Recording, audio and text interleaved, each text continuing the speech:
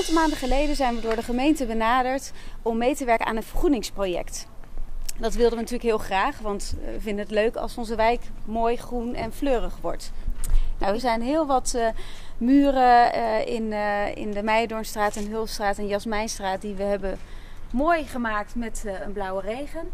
De straat hangt ook vol met deze mooie hanging baskets. De bewoners zorgen zelf voor deze bakken, dus iedereen gaat een aantal keer per week de trap op om ze water te geven. Eigenlijk hebben alle bewoners zo'n bak geadopteerd.